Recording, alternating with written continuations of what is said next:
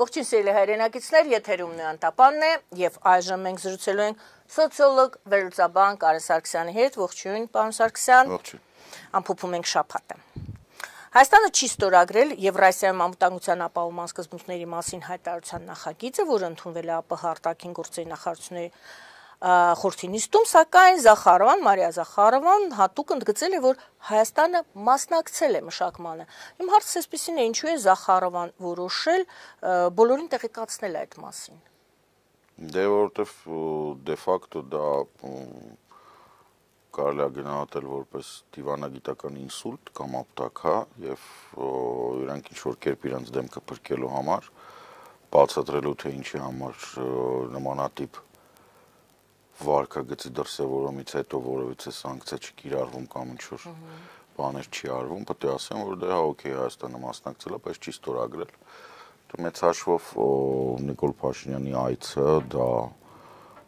շատ մեծ հետընթաց էր Մոսկվայի այցը, նա մանավանդ եթե խոսքը վերաբերում է նաև բանի ծնունդի հետ կապված այնտեղ գտնվելը դա լավ բան չէր մեծ հաշվով դրա համար ասենք դա հաշվի առնելով նաև բան են արել որ ասենք դե լավ օքեյ հիմա որտեվ տարբերակ չկա եթե դու եկել ես Ռուսաստանում ինչ որ փաստաթուղթ չես ստորագրել քո հանդեպ պետքա սանկցիաներ կիրառվեն գոնե լեզվաբանական բայց փաստացի լեզվաբանական սակցիաներ չեն կիրառվել։ Նկարներով իրենք խոսեցին։ Նկարներով դե հա, նկարներով խոսեցին, նկարները պետք է հասկանալ, որ բաները հիմնական խաղացողները ԶԼՄ-ների դաշտում վաղուց արդեն գնված են Ադրբեջանի կողմից եւ շատ հաճախ ակնհայտ Կրեմլը չի պատվիրատունել, ակնհայտորեն շատ կոնկրետ մարտիկ են, ասենք նույն Գուսմանը, որը 10-ի գլխավոր խմբագիրն է, ռուսական նույն Կիսիլովը, որը տանել չի կարողանում Հայաստանը, հա, նույն Մարգարիտա Սիմոնյանը, որը էլ ինչ որ ազդեցություն ունի։ Այսինքն դեռ առանձին վերցրած պերսոնաժներ կան, որոնք բավականաչափ ռեսուրս ունեն, որպեսզի այդպիսի նկարներ տարածեն։ Պարզապես որպեսզի մեզ դիտողներին տեղեկացնենք, ինչի մասին ենք խոսում, նվաստացուցիչ նկարներ էին։ Համենայն դեպս երկուսը ՌԻԱ Նովոստին հրապարակել են։ Նվաստացուցիչ ես չէի ասում։ Փաշինյանին համենայն դեպս ոչ երկրի ղեկավար է, թե նախագահ չէ վարչապետ է, բայց համարում Տեսեք, ախր եթե դուք բան եք անում, եթե դուք դրանք համարում եք նվաստացուցիչ, ապա հանրությունն է համարել նվաստացուցիչ։ Չէ, եթե հանրությունը դա համարել է նվաստացուցիչ, ապա ես կայես գլխից ասում եմ, որ Նիկոլ Փաշինյանը գիտեր, որ իրան նվաստացնելու են։ Գնալու պահին հեծանիվ քշելու պահին։ Տեսակ ինչ արեցին, ինքը տենց հեծանիվով նկարեց, որ այդ բան չկա, այն ինչի մասին ձեր եթերներում ասել եմ մի քանի անգամ, օրինակ Բերլինում իր հեծանիվ քշելը վերածվել էր գերմանական հատուկ ծառայությունների մղձավանջի։ Դա նույն բանը Ռուսաստան, Ռուսաստանում ասենք 4 հատ զրահապատ մեքենա,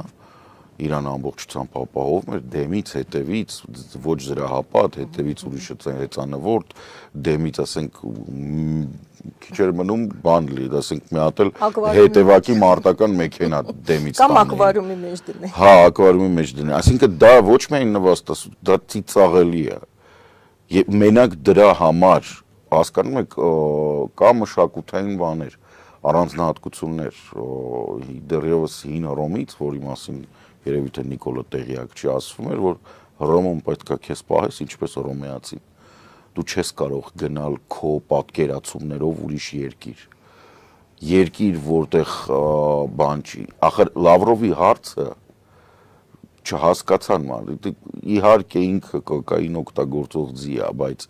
այս մարդիկ, այս իշխանությունները չեն հասկանում ռուսներին։ Դա հեծանվորդի պատմությունն էր, այդ կվադրոբերների հարցը,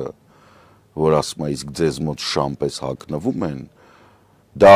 ի պատասխաններ նրա, որ տղաջան քիփ լեգինսներով հեծանիվ երկրի ղեկավարը չի քշում, որ էդ եք անում, են էլ կանեք։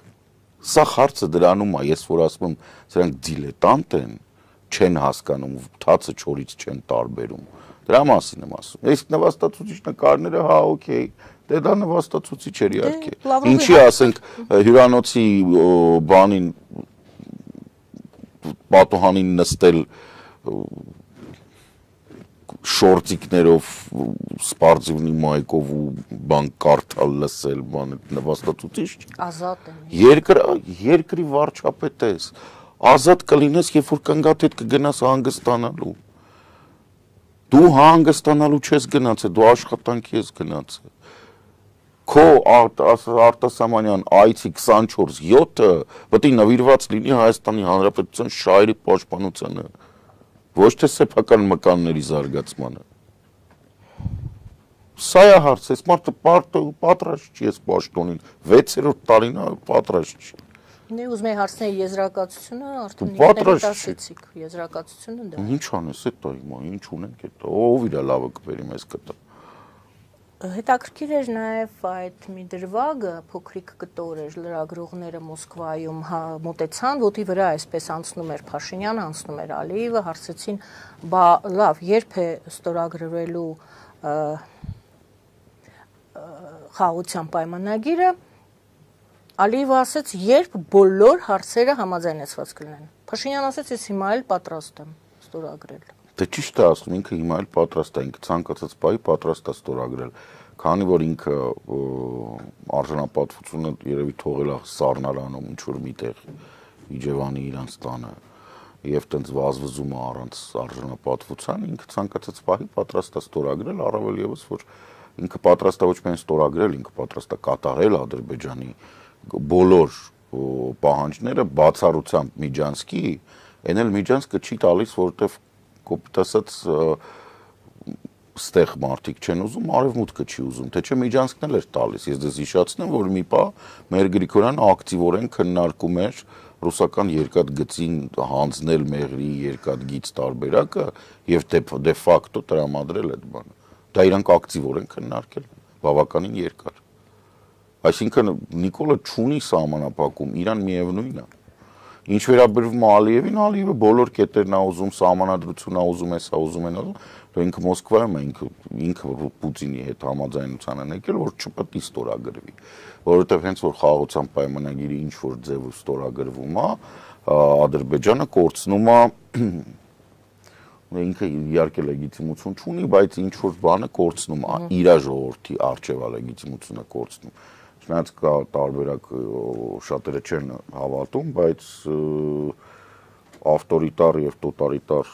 ղեկավարները եւս կախված են հանրային կարծիքից։ Ինքը խաղաղության պայմանագիրը երբ որ կնքեց, երբ որ ֆիքսեց, որ սա վերջացավ, այս փուլը, ինքը այդ փուլից հետո պետքա բարիկների վերաբաշխում կազմակերպի։ Իսկ ինքը ա չունի բարիկ, որը պետքա վերաբաշխի, ավելին ինքը Եվրամիությանը այդ գազի մատակարարման պայմանագրերի շնորհիվ ինքը նաև ունեցած բարիկներից պետք է զրկվի ներդրումներ արին, որից հետո նոր կարողանա վաճառել այն գազը, որը Ռուսաստանից կվերցնի, հետո նոր վերաբաշխի։ Ես մի քիչ առաջ չեմ ուզում ընկնել ինֆորմացիայի, ստանալուց այդ ինֆորմացիան, բայց մենք գիտենք, որ այսօր Աշխաբադում արդեն Փեզիշկյան Պուտին հանդիպում կա։ Մենք հիշում ենք երկու Շոյգու եղավ այց երկու անգամ Շոյգուն գնաց Իրան նույն Ջանգեզուրի Միջանսկ կոչված թեման էլ է քննարկվել եւ ինչ եմ ասում առաջ չեմ ուզում ընկնել արդյունքները դեռ չկան Փեզիշկյան եւ Պուտին բայց ենթադրում ենք որ այդ հարցը եւս հիմա էլ Պուտինն է դնելու, որտեվ Պեսկովը այդպես կեսբերան միջանցք բառներ օգտագործել եւ պատրաստվում է, հիշում եք Ռուսաստանը ասում էր մենք ուզում ենք ստրատեգիական ռազմավարական գործընկերության հարց բարձրացնենք Իրանի հետ։ Ինչ է կարծում Պուտին Փեզեշկյան հանդիպումը ինչին կարող են նվիրված լինել։ Մի խոսքով հարցը սենց է Զանգեզուրի Միջանսկի հարց. Կարծում եք որ Պուտինը էլի նորից դնելու է թե ոչ? Ինձ չի թվում որ Պուտինը այդ հարցը կդնի, այդ հարցը կքննարկվի, բայց հարցի դնելը նշանակում է որ հարց եւ դրա դիմաց ինչ որ գործողություններ կամ պատասխանի շրջանակներում ինչ որ մի բան անշուշտ քննարկվելու է Իրանի դիրքորոշումը չի կարող փոխվել դա սենց ասեմ եթե կա կոնսենսուս Իրանի տարբեր ուժային կենտրոնների միջև, հա, խոսքս մոլաների, կորպուսի եւ քաղաքացիական ղեկավարության կոնսենսուսը դա իհարկե Սյունիքը անվտանգ պահելն է ինչու որ բազմից ասել ենք դա ճանապարհ այդ ճանապարհն է որը որ իրանց հետագայում քանի որ Իրանը Ռուսաստան չի Իրանը ասենք կարող է 20-25 տարվա ծրագիր ունի զարգացման չենք բացառում հա ասենք իրանց համար Հնդկաստան, Իրան, Հայաստանով Եվրամիությունը են լավ գիտակցում են, որ ուշ թե շուտ այս տարածք լինելու են փոփոխություններ կրիտիկական եւ այդ կրիտիկական փոփոխությունները իրանց կողմից դա գործողությունների, ասենց ասեմ, ծրագիր ծրագիրա պահանջում, որը կասեցնելու է թուրք-ռուսական մտերմացումը Այսինքն, եթե հիմա իրանք ունեն մենակ սա, մենակ էս Սյունիքն է եւ այդ Սյունիքը իրանք պահելու են, որ վերահսկեն ռուս-թուրքական ապրանքաշրջանառությունը։ Այստեղ այս շատ կարևոր է որ հասկանան, այստեղ հայերի սիրուն աչքերի համար չի Հայաստանում տարածված է կարծիք, որ գիտեք, Իրանը կգա, կկրվի, իրանք մեր համար չեն կռվելու ստեղ այդ բան ուզում եմ որ շատ լավ པարսեն չի որպիսի վարթագույն ակնոցներ չլինեն, հա, Իրանը կարող է նույնիսկ չկռվի, կարող ասենք շատ ավելի ծանր հարվածներ հասցնին Ադրբեջանին կամ Թուրքիային կամ Ռուսաստանին, հարց դրանում չի, ինքը իր համար է, սա իրականում հաղթաթուղթ է, բայց որովհետեւ կերպ մեծ պատասխանատվությունից կամ գործողությունների մեր սեփական գործողությունների պլանից չի ազատում եւ ծրագրից ինչպես ասում են, կողքից կօգտվենք լավագույն դեպքում։ Դե այդտենց ինչ որ բարադիներ կան, որ ասում են, դե մենք ստե կոֆե խմենք կասկադի մոտ, այնտեղ մեր տեղը սկզբից ռուսներն էին, հետո ֆրանսիացիք էին, հետո ամերիկացիք, հիմա Իրանը, աղջեմ սուրանդիկները, բան, ասած, ինչ ունեն այդտենց բան բարադիների հավաքածու ունենք էլի ցավոք դե բոլոր դեպքերում մենք գնայինք այդ ռազմավարական հարցերը ռազմավարական հարցերը իրանք շատ ունեն իրականում Ռուսաստանը խելք իրանք խելք կորցրել է ինքը շատ է ուզում որպիսի Հնդկաստան հնդկական օվկիանոս, հյուսիսային օվկիանոս այդ ճանապարհը աշխատի, բայց այդ ճանապարհով ապրանքաշրջանառություն չկա։ Այսինքն ինքը գիտեք ինչ տպավորություն մարդ կա, որ ասեն, չգիտեմ, դե ինչ ասեմ, լավ տափողակով հոկեյ է խաղում, բայց հիմա անգելա ասում է, չէ, ես ուզում եմ ռեգբի խաղամ, ասում են, տղա ջան, ոչ այդ բաներով, չմուշկներով, ոչ այդ կլուշկայով, այդ սխալ ես հակնված էլ ռեգբիի համար, գնա կամ փոխվի կամ պարապի կամ մի բան արա դու ռեգբին ու բա չէ ես ուզում եմ խաղամ դե իմ ուզում ես խաղաս խաղ Իրան-Իսրայել Իրանի թեման շարունակենք Reuters-ը հայտնում է որ Պարսից ծոցի երկրները Սաուդյան Արաբիան Կաթարը եւ Էմիրատները հրաժարվել են թույլ տալու իրենց օթային տարածքը Իրանի դեմ ուղղված ցանկացած ռազմական գործողությունների համար Իսրայելի արչեվ ձեր գնահատմամբ ինչ է կատարվում երկու ինֆորմացիա էլ կարդան Վաշինգտոնը զգուշացնում է Իսրայելին, որ եթե իրանական օբյեկտների հարցակումների, եթե իրանական օբյեկտները հարցակման ենթարկվեն, ապա Իրանը դուրս կգա միջուկային զենքի տարածման պայմանագրից եւ մենք նաեւ գիտենք, որ Իրանի խորհրդարանը կոչ է անում վերանայել Իրանի պաշտպանական դոկտրինան բավականին վտանգավոր իրավիճակից էր գնահատականը։ Ա վտանգավորը ստեղ իրականում ես էս քանի օրը բավականին ակտիվորեն փորփրում էի չասեմ իսրայելական, բայց ռուսախոս հրեական այդ զանգվածը որոնք որ հայտնի է որ հիմնականում այս ագրեսիվության հիմքում ընկածա սովետական միությունից գնացած այսպես կոչված հрьяաների, որտեղ իրանցից շատերը հрьяա չեն իրենք ուղղակի ինչ որ տենց սերիա տատիկի ծննդական առած բաներ են, որ շատ հարմար է։ Բարթույթներով լսում ես, տեսնում ես բարթույթներով բան, տենց ինչ որ բան, իրենց համար ոչ նշանակություն չունի մարդու կյանքը։ Շատ հանգիստ խոսում են, որ Բեյրութի կենտրոնին խփել ենք, ընդամենը 40 հոգի ամեռը 4 երեխա, պատկերացնում եք, որ չխփեինք, ինչքան երեխա կմեռներ, բան, այսենց բաներ են խոսում ու բաց։ Ա սա վաբանկն է, սա տրամպիզմն է, մաքուր տրամպիզմ է։ Իրանք ամեն ինչ անում են, որպեսզի Բայդենի վարկանիշը գցեն, նո, դեմոկրատական իշխանությունների վարկանիշը գցեն, Տրամպը դրանց ակտիվորեն ընդունում, օգտվում է այդ պասերով իրենց համար ասենք նույն ՄԱԿ-ի բանին խփելը, այդ նույնն է ինչ որ անում է Տրամպը, նույնն է ինչ որ անում է Պուտինը, նույնն է ինչ որ անում է Ալիևը, նույնն է ինչ որ անում է Իվանիշվիլին, նույնն է ինչը փորձում է անել Փաշինյանը եւ հաճախ անում է նաեւ, այսինքն գոյություն ունեցող համակարգերը վերաձևալ վերաձևակերպել դրանց գործունեությունը ոչնչացնել կամ նորացնել, հա? Օրինակ Փաշինյանը ժամանակ առ ժամանակ հայտարարում է, որ ԵԱՏՄ-ն դա քաղաքական չի, բայց ԵԱՏՄ-ն դա քաղաքական է, կներեք, որովհետև եթե դու ինչ որ օրենք ես ընդունում, այդ օրենքը մտնում է բան, ազգային ժողով հաստատում ես, եթե դու չես կարողանում այս բաժակը առնես,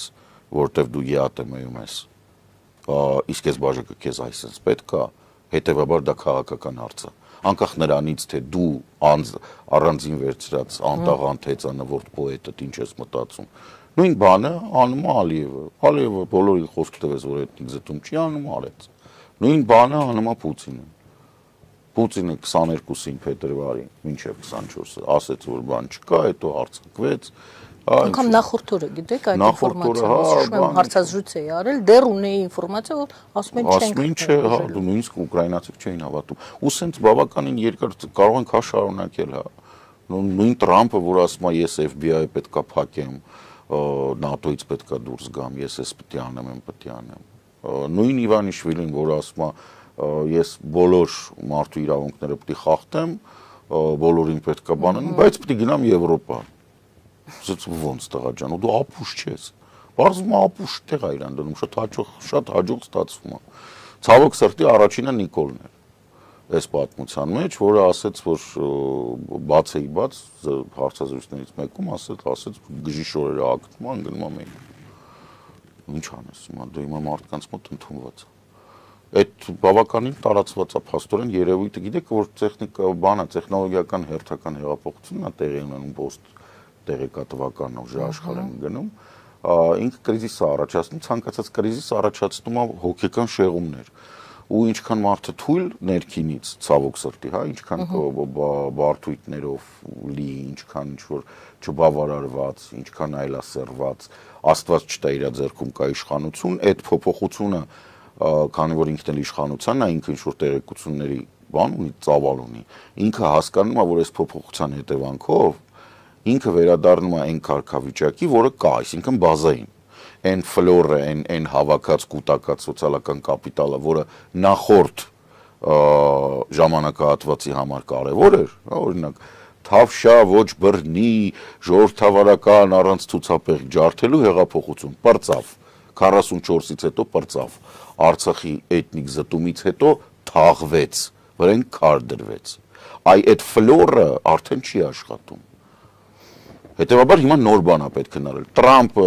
չգիտեմ, QAnon, դեմոկրատները բան են անում, ինչ են անում այնտեղ, մի միգրանտները կատու են ուտում, դեմոկրատները բոլորը պետոֆիլ են, բան ինչ-որ sense հեքիաթներ, Օրբանը, Եվրոպական միությունը ու չի թողում, որ մենք ապրենք, շնչենք, արտաշնչենք բիզդիկը, բիզդինան Իվանիշվիլի, որը նստած ինչ-որ բաներ է, ոչ պատերազմին, ոչ ագենտներին, բան ինչ որ sense բաներ, ուկրաինական սցենարներ այս կողմեն կողմ խաղացնում։ Այս կեղծը, սուտը, այս ամեն ինչը գալիս է նրանց, որ այս մարդիկ բարթույթների մեջ խեղդվել են, բայց դեռ հասկանում են, այսինքն ուղեղը դեռ չի չորացել։ Հասկանում են, որ փոխվեց տեղեկատվական այդ post տեղեկատվականի անցավ։ Ինքը դառնում է այն ոչնչությունը, որը կար։ Լավ, բայց հանրությանը պատանդ է վերցնում, փաստորեն։ Հանրությանն է պատանդ վերցնում, միջազգային հանրությանն է պատանդ վերցնում։ Միջազգային հանրությունը իր համար հանգիստ ապրում է իր Չէ, չէ, դա տենց չի, դա տենց չի։ Չէ, չէ, չէ, չէ, դա տենց չի, դա ահավոր մեծ բան է։ Նույն Լիբանանի վրա հարձակումը այդ հիմարի Նետանյահուի, ասենք այնտեղ կանգնած է մոտավորապես երևի, եթե չեմ սխալվում, տարբեր 4 թե 5000-անոց կոնտինգենտ է կանգնած 800 հոգի ֆրանսիացի 1400 իտալացի իսպանացիներ մեր հայկական զորամասը կա բան կա այսինքն այնտեղ ամբողջ աշխարհը կանգնած է Նետանյահուն կրակում է դրանց գրասենյակի վրա գլխավոր շտաբի վրա կրակում հա մակի այսօր այդ հենց այդ եմ ասում մակի զորքերը այնտեղ բավականին մեծ կոնտինգենտ է կանգնած Եվ Իսրայելը կրակում է հիմա, բա ոնց չասես, բա այդ 800 ֆրանսիացին մեր ունեն, կին ունեն, երեխա ունեն, բա չդառա որ Նետանյահուն ինչ որ մատից ծծած կամ չգիտեմ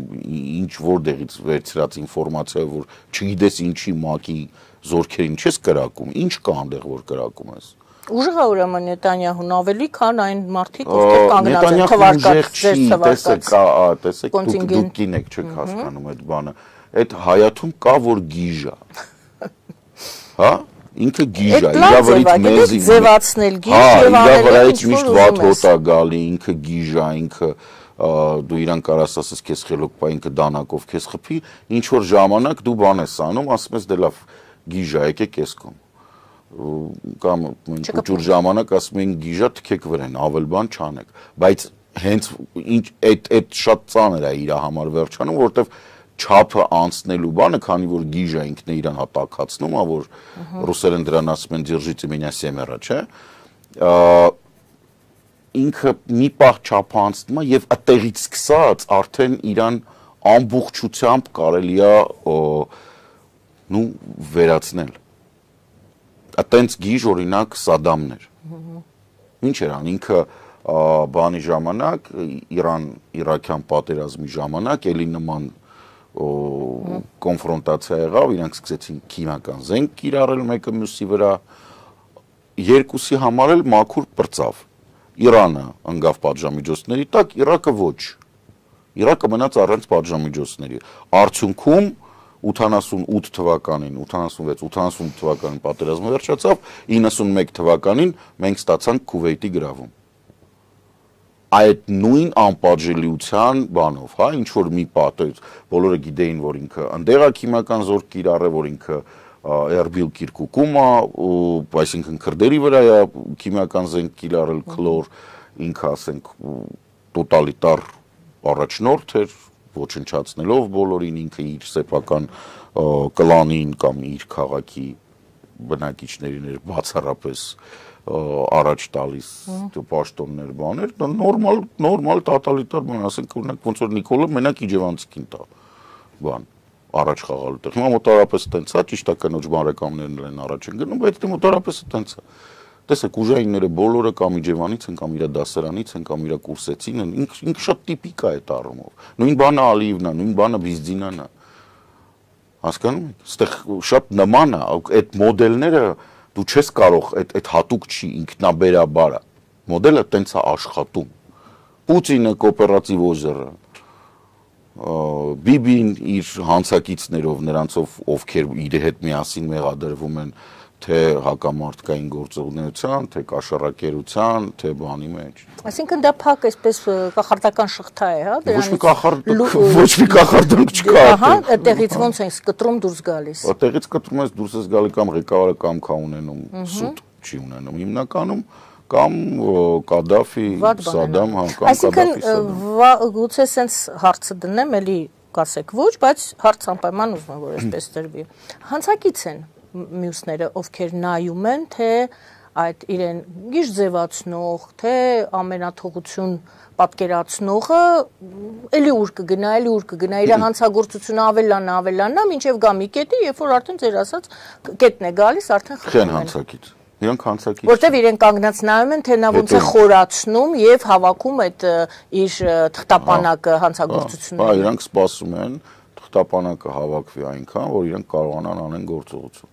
մինչև դա իրանք Պարզապես չեն կարողանում կանգնացնել։ Չէ, հա? հանցակից չեն իրանք։ Իրանք կարող է շատ հատուկ հատուկել նենց են անում, որ թղթապանակը հավաքվի։ Դե եթե հատուկ այդպես են անում, չի դառնում հանցակից։ Չէ, ինչի համար իրանք պետք է։ Տեսեք, այստեղ ես հասկանում եմ ենթատեքստը այս ամեն ինչի։ Ոչ, որևէցե պետություն, որևէցե երրորդ պետության, հա, ասենք Ֆրանսիան Հայաստանի Հանրապետության վարչապետի համար պատասխանատու չի։ Ֆրանսիան պատասխանատու չի Նիկոլի սխալ քայլերի կամ անարժան անարժանապատիվ գործողությունների համար։ Չէ՞։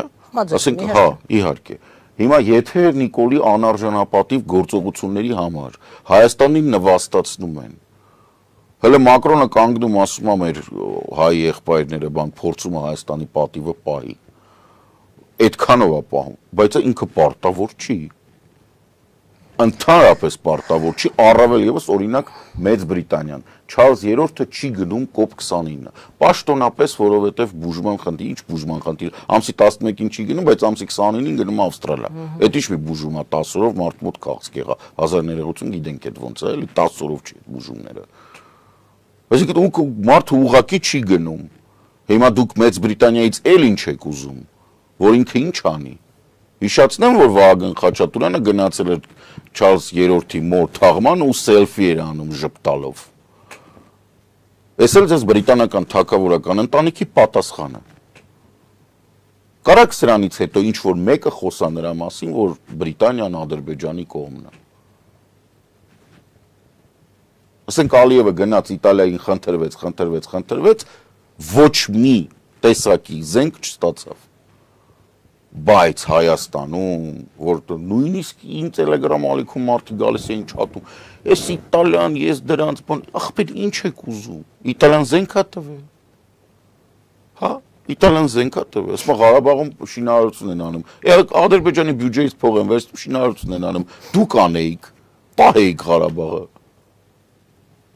Ղարաբաղը որ մերն էր, իտալացիքին տայք որ շինարարություն անեին ոչ թե հիմա Բաքվի Բերթում նստած լափած ամեն ինչ 10 հոգին, որը ասենք չգիտեն էլ այնքան լափեցին, սկի չվայելեցին։ Թուրքիա-Ռուսաստան թեման դիտարկենք, հետաքրքիր մի երկու ինֆորմացիա ներկայացնեմ։ Թուրքիան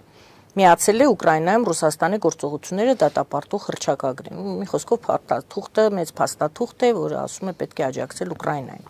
Եվ երկրորդ հետաքրքիր ինֆորմացիան. Մոսկվայի դատարան հերակա ձերբակալել է ռուս դերասանուհի հերոստահաղորդավարուհի Տատյանա Լազարևային։ Ինչու մեղադրանքը ահաբեկչությունն արդարացնելու համար եւ միջազգային հետախուզում է հայտարարել։ Հարցը այսպեսին է, թեման նույնն է Ուկրաինա-ռուսական Ռուսաստան պատերազմը։ Մի դեպքում ահաբեկչության արդարացնելու մեղադրանքով միջազգային հետախուզում, մյուս կողմից Թուրքիան Ռուսաստանը Թուրքիայի ղեկավարին համարում է բարեկամ երկիր եւ բարեկամ։ Դե բայ չկուզում, բա ոնց կարա չհամարի։ Միակ երկիրը, որտեղով ինքը կարողանում է քեշ ստանալ, դա Ալիևը ինքն իրանով ոչինչ չէ։ Ալիևը օգտագործում է Վրաստանը տրանզիտ բան, դուրս է գալի Թուրքիայով, գազի վաճառքը, բանը, սա Թուրքիան է։ Թուրքիան ոնց ոսի տենց Չէ Թուրքիան ինչ որ կարծիքներ կան, որ ինքը բանը, հա, կնստի, կքննարկի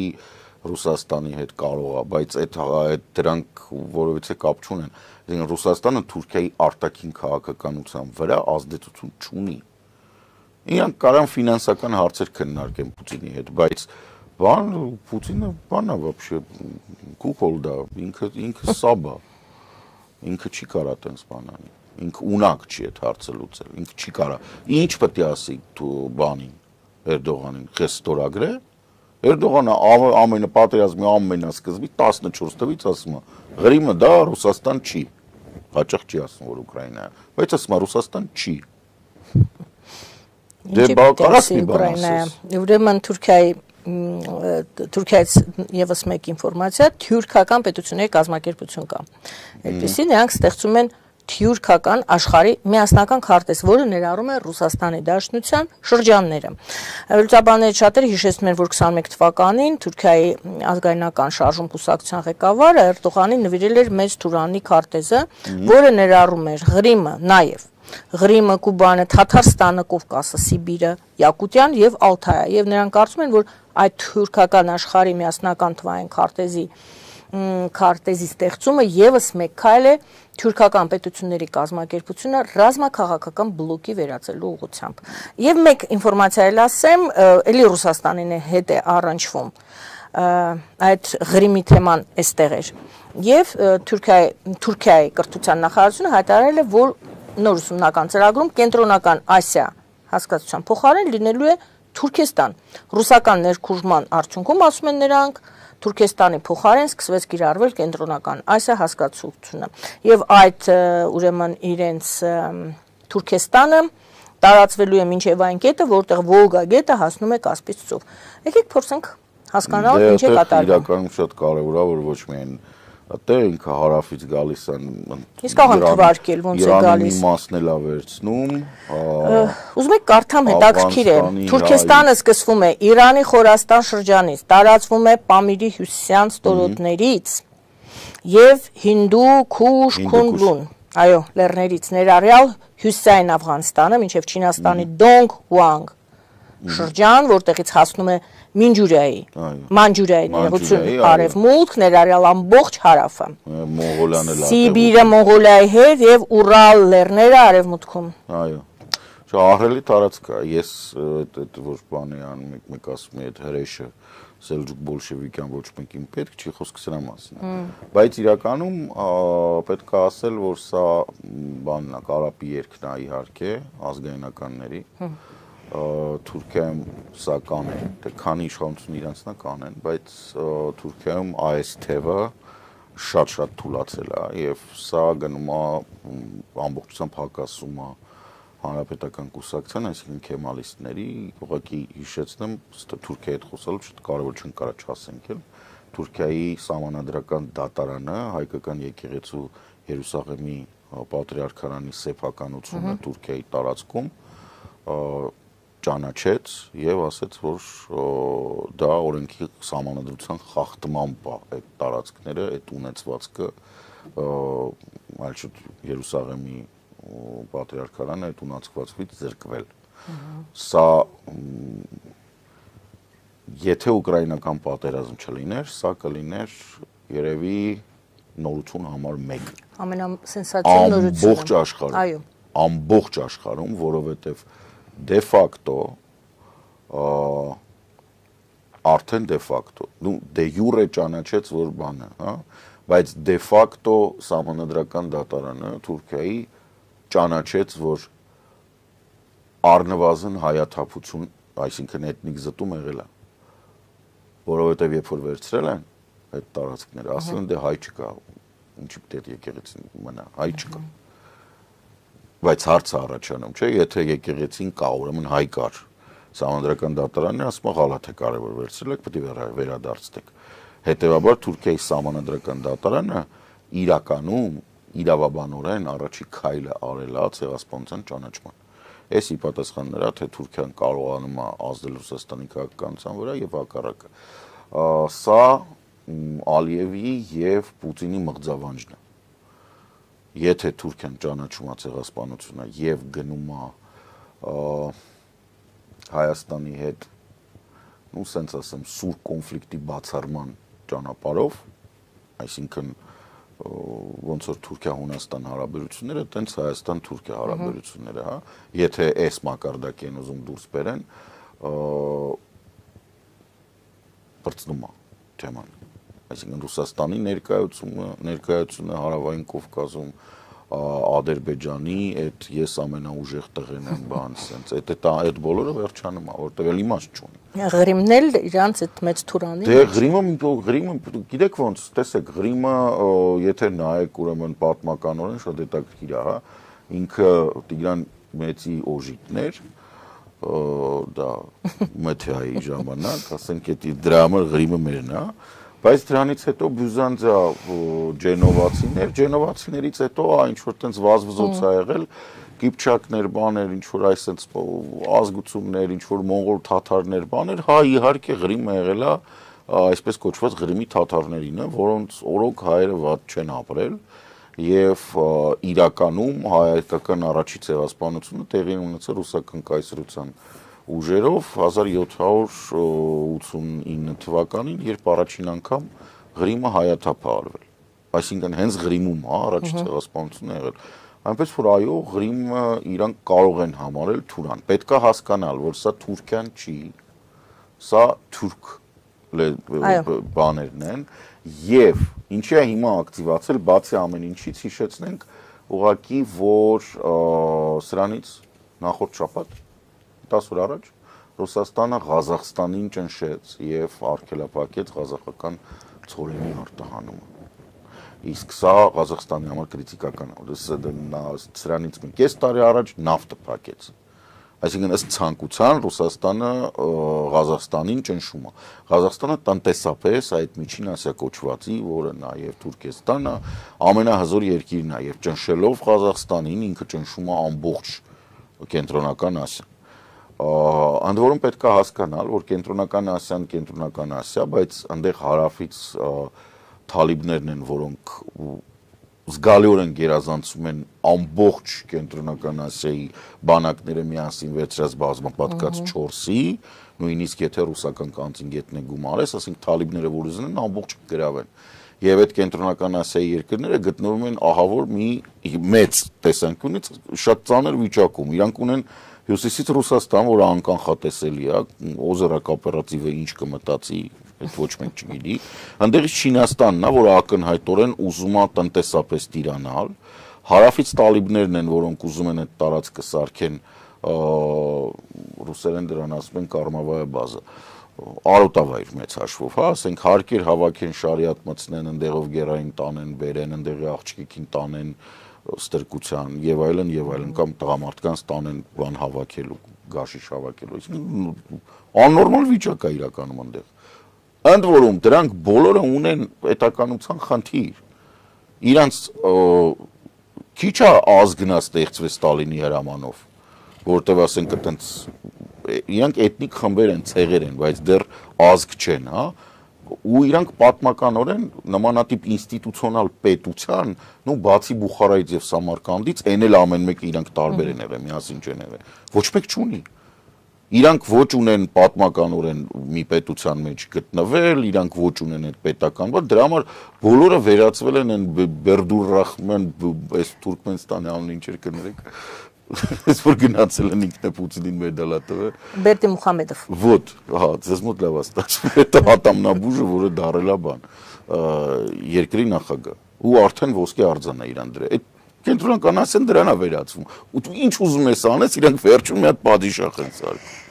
Վերջում մի հատ հարցազրույց եմ ուզում ներկայացնել ձեզ, որովհետև մեջը 3 հատ դրվակ կա, ես կարճ կասեմ, պարզապես կասեմ, որ հարցազրույցը հարցազրույցին հանդիպել եմ Սպուտնիկ Արմենիայում։ Հայ հայ վերլուծաբան։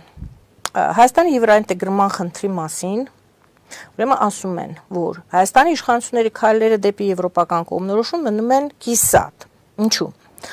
Այստեղ Ռուսաստանի տնտեսական ազդեցությունը զսպող դեր է խաղում։ Ուրեմն առաջին կետը սա է արդյոք Հայաստանը ասում են կիսատ է մնալու, որովհետև այնուամենայնիվ Հայաստանը կախված է տնտեսապես կախված է Ռուսաստանից։ Այս հարցին մենք կանդրադառնանք։ Սա առաջինն է։ Երկրորդը նա ասում է մի կողմից ռուս սահմանապահները հսկում են Հայաստանի սահմանները Իրանի Թուրքիայի հետ։ Մյուս կողմից անցակետը այդ նորություններ այս շփաթվա այսուհետ կտեղակայվեն այդ անցակետում կտեղակայվեն միայն Հայաստանի ազգային անվտանգության ծառայության աշխատակիցները։ Այսինքն ինչ խնդիր է լուծվել։ Ոչ մի խնդիր չի լուծվել։ Երրորդը հապկից դուրս գալով եւ ՆԱՏՕ-ի երաշխիքներ չունենալով Հայաստանը կարող է դառնալ ստվերային գոտի, որտեղ անվտանգության համակարգ չի գործի։ Սա երրորդ կետն է։ Ուրեմն առաջինը Ռուսաստանից կախվածությունն է, որ զսպել է կամ դանդաղացրել է, կիսատ է թողել Հայաստանի իշխանությունների քայլերը դեպի Եվրոպա։ Իրականում դա այդպես չի, հա, տնտեսության կախվածություն չի, մոտ մի 30-40 դախլչի, սուպեր դախլչի եւ մեգա դախլչի ընտանիքների փոխկապակցվածությունն Ռուսաստանի հետ, որտեղ տնտեսապես մենք Ռուսաստանի հետ կապակցված չենք լինի դա, ասենք, ամենօրյա տեքստիլը, բան ինչ որ այդ բոլորը ինձ չի որ կախված են Ռուսաստանից։ Ես գիտեմ իրանք շատ հաճախ գազի թեման են բանանում, բայց գազը դա այդ արտահանման թեման մենք գազը այդ արտահանումը այդ դախլչիներն են էլի դա ստվերային արտահանումն է որի համար քրեական հոդված աղացնում եւ Հայաստանը ասենք միայն ԱՄՆ-ի բարի կամքով չի հայտ ոչ միայն ԱՄՆ-ի նաեւ Ուկրաինայի պետք է նշել որ Ուկրաինայում բոլորը գիտեն դրա մասին ուղղակի բարի կամքով Զելենսկու Հայաստանը չի հայտնվում են ցուցակներում որտեղ որ արդեն պատժամիջոցներ կան, չնայած Մեհր Գրիգորյանի եւ Պսլենկոդ Վահան Քերոփյանի անունները ուկրաինական հատուկ այդ ցուցակներում անմիջապես պատերազմից հետո կային։ 22 թվականի մարտից այդ մարտիկ ցուցակներում էին։ Նրանք պատժամիջոցների արժանի մարտիկ են։ Գազը գազի թեման հետեւյալն է, մենք գազը գնում ենք բանով մենք բնակիչներս նորմալ շուկայական արժեքով։ Իսկ թե Գազպրոմը Գազպրոմ Արմենիային ինչ ա վաճառում, կներեք, այդ իրանց ներքին պատմությունն է, իրանց ներքին հաշվապահությունն է։ Այսինքն Գազպրոմը Գազպրոմ Արմենիային գազը վաճառում է 100 քանի դոլարով, բայց դա իրանց ներքին հաշվապահությունն է, մեզ համար դա ոչինչ։ Իդեպ պետք է ասեմ, որ ա, 21 թվականից մինչ այսօր Եվրոպայում գազը 4 անգամ ավելի էժան է, քան 21 թվականին։ Հայս այսօր։ Այն պարագայում, որ Ռուսաստանը դադարել է գազ Այո, մատակարարել դրանք նոր Եվրամիջոցին։ միջոցներ են ձեռնարկում։ Այդ դեպքում հարցը ձեր պատասխանը նա ասում է, որ Հայաստանի իշխանությունների քայլերը դեպի եվրոպական կողմնորոշում մնում են կիսատ։ Այս հատվածի հետ ինչ կասեք։ կիսատ են մնում Ինչու? Ակնհայտորեն կիսատ են, թե ոչ, եւ ինչու։ Չէ, կիսատ են մնում, կիսատ որն է, ես խիստ կասկածում եմ, որ այդ քայլերը ընդհանրապես արվում են։ Կիսատ են մնում, որովհետև մենք ունենք անտաղանդ հեծանվորդ պոետ, որը փոխանակ գործերով զբաղվի, հեծանիվ է քշում, ը, պոեզիա է բանանում, էթնոգենեզով է զբաղվում, ը, լոբի է փում, չգիտեմ, ինչ է անում այդ մարդը ինքը վարչապետ որպես ինքը ան արդեն վաղուց ոչինչ չի անում։ Ի վերջո վարչապետը դա տնտեսական պատասխանատուն է։ հա։ Մենք վերջի ինչ որ տենց բանը տեսել ենք, որ ինքը ավտոկադի տեմպլեյթները որ կա, ինչ որ ակադեմիական քաղաքը, որը կլինի 2056 թվականին, բայց այս գլխից պետք է մի միլիարդ պողոտել դրա մասին էր, հա։ Կամ ասենք իր այն մխոն, որը լազերային տեխնիկա ինստիտուտը յուրացրեց, որպիսի այդտեղ շենքեր կառուցվի, այդ թվում իր աներձակի ըստ տարբեր բաների իր իր աներձակն էլ տեղ տներ պետք է կառուցի շենքեր, դա է իրանց վարչապետության թեման է դա։ Իր թիմակիցները հիպոթեք են բռնում, ինքը տենց ստորագրում է թղթեր, որ իրանք հանգարց ված չզգան։ Հետա ինքը վարչապետ չի, ինքը հեծանվորդ է, պոետ է, էթնոգենեզ է։ Լավ, դրա պատասխանը ստացանք։ Երկրորդը, ռուս սահմանապահները մնում են Հայաստանի սահմաններում Իրան, Թուրքիա, բայց դուք անցակետում ձեր անվտանգության ծառայության Տեսեք, աշխատակիցներն ա, իրականում մեզ համար կրիտիկական է անցակետերի նույնիսկ ոչ թե ներկայությունը, այլ անցակետերում արկա ծրագրային ապահովումից ռուսներին հեռու պահել, որպեսզի իրենք շտեմանաններին չունենան հնարավորություն վերահսկելով եկավ ինչ արեց։ Այսինքն սա է։ նոր պետք է կազմվի, արդեն 100 տարի կազմված Չէ, եւ հիմա ով է գալ, ով եկավ, երբ եկավ, ոնց Հա, եկավ։ նոր, նոր բան։ Չէ, ամեն գալացողին։ Նոր Հա, շարժը։ շարժը, Չէ, շարժը, որտեղ այն մարդիկ, ովքեր չպետք է գային, այն ժամանակ չէին գալու։ Հիմա այս ամբողջ հարցը պետքա վերաձևակերպվի, ստեղ պետքա կանգնածել են մերոնք, ռուսները պետքա չլինեն, ոչ, էս էս է թեման։ Ա, Ինչ վերաբերում է սահմանապահներին, ես ես ասեմ, որ իրականում մեր սահմանին, ինչպես նաև սովետական միությունում սահմանապահները, որոնք որ տված էին NKVD գուբչե KGB-ին, այդ մենակ նրա համար էին, որ սովետի բնակիչները չփախնեն սովետից ոչ թե ներս չգան, հա, այդ այդ սախ լեգենդները նրա մասին, որ ա, 12 ալկաշ նստած արմավիրում կարան պահեն թուրքական հարցակումից կներեք էլ ասենք դի ծաղալ այնտեղ սահմանապահները ուժ գործողությունների համար Եվ երրորդը ՆԱՏՕ-ն ուրեմն մեզ ոչ մի Հա, երաշխիք չի տվել, դուք էլ ուզում եք բանից դուրս գաք, այդ հապկից դուրս գաք։ Հազար անգամ ասել ենք, սրան նույնիսկ Չէ, բայց ձևակերպում կա ասма, չգիտեմ, ինչ գորշկոտի է, Հա, չէ, ստվերային գոտի է, որտեղ անվտանգության համակարգ չի գործելու։ Ահ, տեսեք, հապկում մենք ունենք բացասական անվտանգության համակարգ։ Մենք ունենք դաշնակիցներ, մասնավորապես Ֆրանսիան, Հունաստանը, Կիպրոսը, ա, Ֆրանսիան եւ Հունաստանը ՆԱՏՕ-ի անդամ, մենք ունենք լավ հարաբերություններ Լեհաստանի հետ, մենք կարող ենք Լեհաստանի հետ համագործակցել։ Շվեդիան, որ արդեն ՆԱՏՕ-ի անդամ է, մենք այս բոլոր ՆԱՏՕ-ի երկրների հետ ունենք լավ հարաբերություններ։ Բելգիան, Նիդերլանդները, ա, եւ մենք չենք կարողանում իրանց հետ համագործակցել, որովհետեւ մենք հապկում ենք։ Իրանց օրենքով է արգելված դա օրենքով, իրանց օրենքով արգելված է։ Իրանք շատ են ուզում օգնել իրականում ուզում է Նիդերլանդները պաշտոնապես հայտարարեցին իշխող կուսակցության ղեկավարի լեզ որ Հայաստանին մենք աջակցելու ենք։ Հիմա հարց, ինչի համար է պետք մնալ հապկում որ ինչ որ շարունակենք չկարողանանք ստանալ օգնություն իրականում ես ասեմ թե հապկում թե ԵԱՏՄ-ում թե ԱՊՀ-ում այդ բոլոր տեղերը մնում են որովհետև Նիկոլ Փաշինյանի իշխանությունը գնում է կոռումպացվածության ճանապարհով։ Ինքը ինչպես եւ Բիզձինա Իվանիշվիլին ուզում է այս տվերային գոտի վրա